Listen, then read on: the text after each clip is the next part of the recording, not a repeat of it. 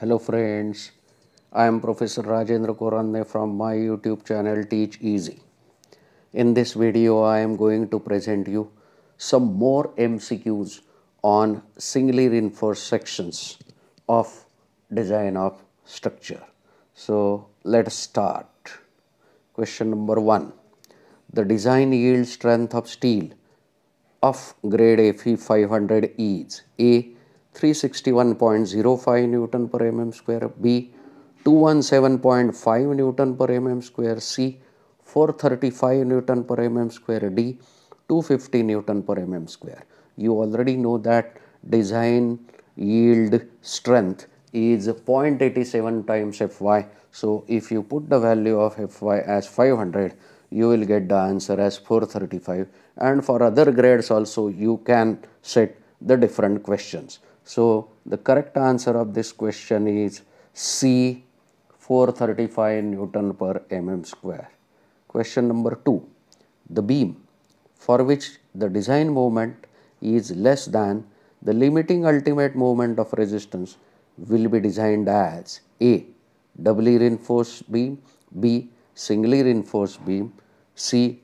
T beam and D. L beam. Now whenever beam carries the external loads due to those external loads bending moment will be there and the beam is to be designed for that particular bending moment. If that bending moment is less than mu lim that is for balance section then it can be designed as a singly reinforced section. Hence the correct answer of this question is B singly reinforced sections. Question number 3. If L0 is clear span, D effective depth and Bs width of the support, then the effective span of the beam is A. L0 plus Bs, B. L0 plus D, C. L0 plus D by 2 and D lesser of A and B. Now we know that we have got two criteria that is clear span plus width of support and clear span plus effective depth. Whichever is less of these two is the effective span. Hence, the correct answer of this question is D lesser of A and B. Question number 4. The minimum grade of concrete to be used for RCC work for mild exposure is A M15, B M35, C M25, D M20. Now, as per IS 456 2000, there are five exposure conditions given. For each exposure condition, minimum grade of concrete to be used, minimum nominal cover to be used are given. And from that table, you can see that the minimum grade of concrete to be used for RCC work for mild exposure is M20. Hence, the correct answer of this question is D M20. Now friends please keep in mind that for this question you can have four more question for different exposure conditions. Okay, so you have to keep in mind this. Question number 5. The value of load which has 95% probability of not being exceeded during the lifespan of the structure is A. Ultimate load B factored load, C characteristic load and D design load. You can very easily see that this is the definition of characteristic load 95% probability of not being exceeded. Hence the correct answer of this question is C characteristic load. Question number 6. Partial safety factors for dead load and live load.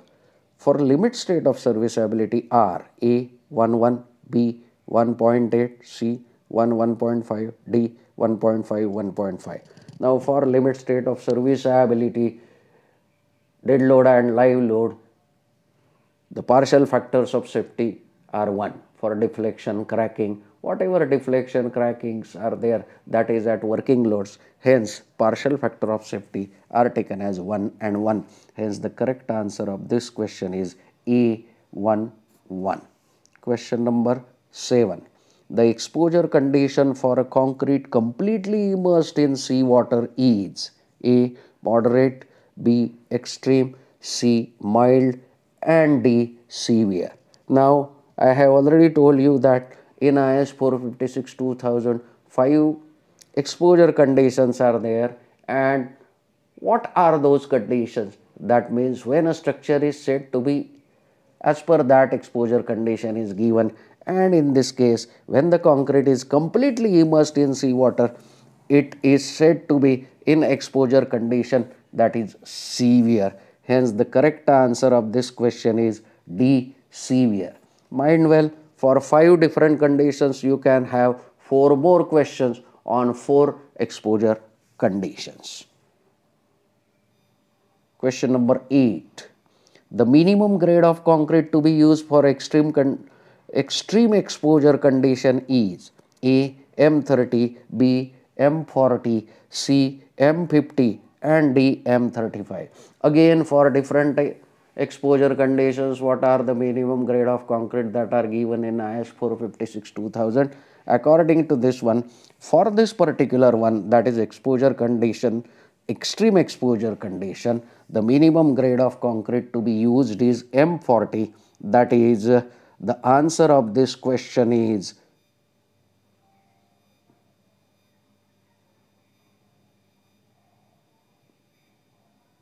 B M40. You can have some more questions on other extreme exposure, extreme condition, other conditions also. Question number 9.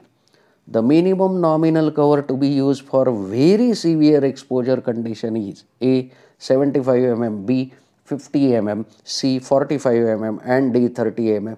Again this is a question on exposure conditions. So you please refer the table in IS 456 2000. Okay. The correct answer of this question is 50 mm that is B 50 mm. Question number 10. The depth of critical neutral axis depends on A. Grade of steel B. Grade of concrete C. Effective depth of section and D. Both A and C. Now critical neutral axis effective depth is given as say for Fe415 it is 0.48 D. So for Fe415 means it depends upon grade of steel and 0.48 into D means it depends upon depth also. So it depends upon a and C both. Hence, the correct answer is D, both A and C. Question number 11. For M20 and Fe415, the limiting percentage of tension reinforcement is A 1.76, B 0.76, C 1.20 and D 0.96. Now, percentage PT lim you can say for it 250 is 0.088 into FCK for M45 it is 0.48 into FCK and for Fe500 it is 0.38 into FCK. Here it is Fe415 and FCK is 20 that is 0.4 0.048 into 20 will come as 0.96. Hence, the correct answer of this question is D 0.96. Question number 12. For the same effective depth as the grade of steel increases, the critical neutral axis will A. Shifts upward B. Not change the position C. Shifts upwards and D. Can't predict. Okay. Now you know that as grade of steel increases, for Fe250 it is 0.53D, for Fe415 it is 0.48D, for Fe500 it is 0.46D. So as the grade of steel increases, neutral axis will shift upward and upward. Hence the correct answer of this is C shifts upwards. Question number 13. For M35 and Fe415, the ultimate moment of resistance factor is A. 3.45, B. 2.76, C 2.97 and D 3.34. Now what is ultimate moment of resistance factor for Fe415 it is 0.138 into FCK BD square where 0.138 FCK is moment of resistance factor. Here FCK is 20 so 0.138 into 25 will give you the answer as 3.45 hence the correct answer is A 3.45. For the other combinations of steel and concrete you can have other questions also for the same type. Question number 14. The limit state for the limit state method, the nature of strain variation along the depth is A. Rectangular, B. Parabolic, C. Linear and D. Circular. You know that strain diagram for concrete or steel is a straight line. Hence, this strain variation is linear. The correct answer is C. Linear. Question number 15. For the limit state method, the nature of stress variation for concrete along the depth is A. Rectangular, B. Parabolic, C. Linear and D. Parabolic and rectangular. Now, from the assumptions, you know that the variation of stress in concrete up to a strain of 0.002 is parabolic and thereafter it is rectangular up to the maximum strain in concrete as 0.035. Hence, the stress variation for concrete will be parabolic and rectangular. The correct answer is D, parabolic and rectangular. Thank you.